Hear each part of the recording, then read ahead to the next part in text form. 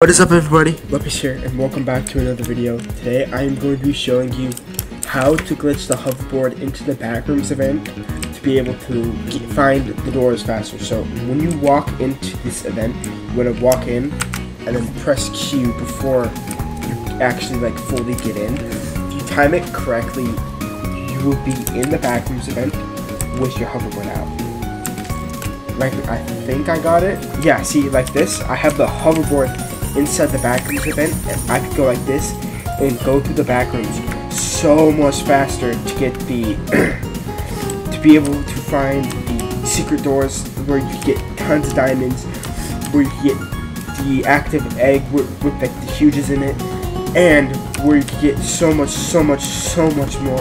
Anyways, if you found this video helpful, consider liking and subscribing. I'm so close to uh, 1,000 subscribers, and I'll see you guys in the next one. Peace.